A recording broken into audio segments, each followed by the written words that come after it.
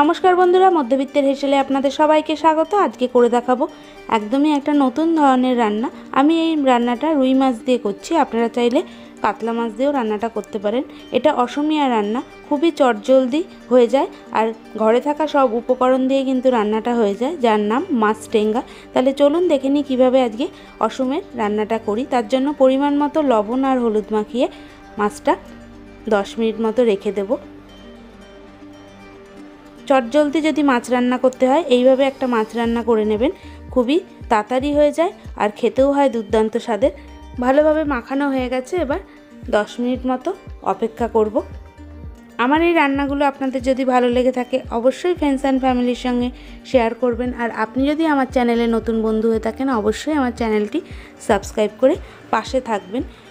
দশ মিনিট হয়ে গেছে, গ্যাসে কড়াই বসিয়ে দিয়েছি, দিয়ে দিলাম পরিমাণ মতো সর্ষের তেল, রান্নাটা কিন্তু সর্ষের তেলেই করতে হবে। এবার তেল গরম হয়ে এসছে, এক এক করে মাছের পিসগুলো দিয়ে ভেজে নেব। মাছটা একটু কড়া করেই ভাজছি, কিন্তু অসমে কিন্তু এই রান্নাটা হালকা করা ভাজা মাছে হয়, আমি কড়া করে ভাজছি। আপনারা চাইলে হালকা কড়া করেও ভেজে নিতে পারেন। মাছটা একদিকটা ভাজা হয়ে গেছে, অপর সাইডটা উল্টে দিচ্ছি। অপর সাইডটাও কিন্তু কড়া করে ভেজে নেব। এইভাবে সব মাছগুলো ভেজে নিচ্ছি।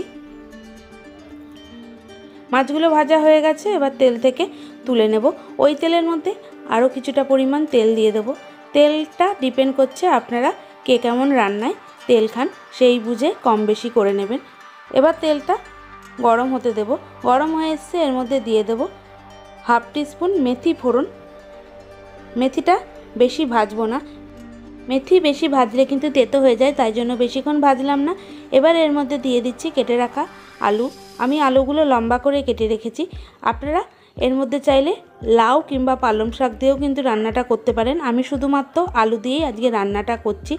আলুটা খুব ভালোভাবে ভেজে নেব। আর আলু ভাজার সময় কোনো রকম লবণ কিংবা হলুদ দেব না। এবার এর মধ্যে দিয়ে দেব চেরা কাঁচা লঙ্কা। রান্নাটা হবে কাঁচা লঙ্কায়। আপনারা আপনাদের স্বাদ অনুযায়ী লঙ্কাটা অ্যাড করবেন। আমি চার পাঁচটা লাল কাঁচা লঙ্কা, চিড়ে তেলের মধ্যে দিয়ে দিলাম। দিয়ে খুব ভালো করে আরও কিছুক্ষণ মতো ভেজে নেব। যাতে লঙ্কাটা পুরোপুরি ভাজা হয় আর একটা ভাজা সুন্দর গন্ধ বার হয়। তারপর দিয়ে দিচ্ছি কেটে রাখা টমেটো। একটা বড় সাইজের টমেটো এইভাবে কেটে রেখেছিলাম। সেই টমেটো কুচিটা দিয়ে আরও কিছুক্ষণ মতো ভেজে নেব। টমেটো দেওয়ার পর এর মধ্যে দিয়ে দেব স্বাদ মতো লবণ, যাতে টমেটোটা খুব তাড়াতাড়ি গলে যায়। আমি একেবারেই লবণটা অ্যাড করছি। লবণটা দিয়ে খুব ভালোভাবে আলু আর টমেটোর সঙ্গে মিশিয়ে নিচ্ছি। আস্তে আস্তে কিন্তু টমেটোটা গলতে শুরু করে দিয়েছে।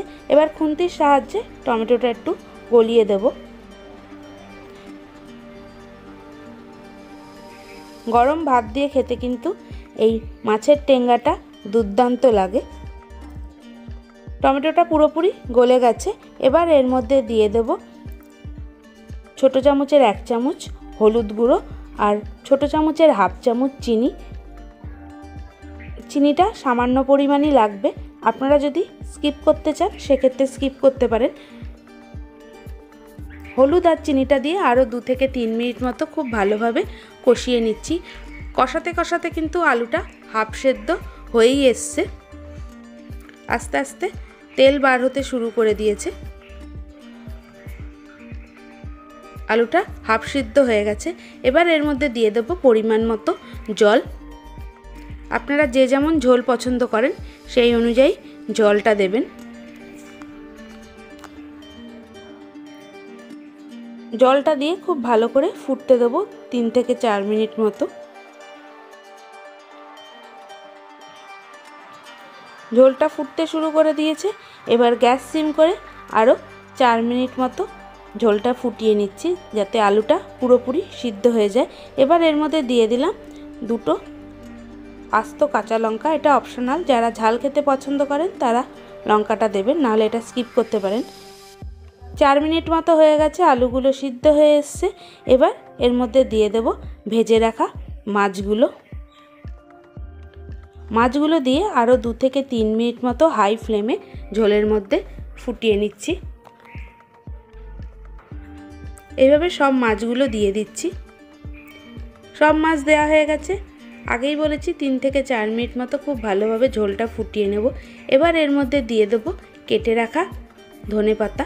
ধনে পাতাটা কিন্তু আগে দিলে ধনে পাতার যে একটা সুন্দর গন্ধ সেটা চলে যাবে। তাই জন্য রান্নার শেষেই কিন্তু ধনে পাতা দিয়ে মিনিট খানিক মতো ফুটিয়ে নেব। খুব সুন্দর কিন্তু ধনে পাতা দেওয়ার পর একটা গন্ধ বার হয়ে এসছে। ভালোভাবে ফুটতে শুরু করে দিয়েছে। এবার আমি গ্যাসটা বন্ধ করে দিচ্ছি। তাহলে তৈরি হয়ে গেল মাছের টেঙ্গা। অবশ্যই বাড়িতে রান্না করবেন আর আমাকে জানাবেন যে কেমন লাগল। আশা করছি সকলেরই ভালো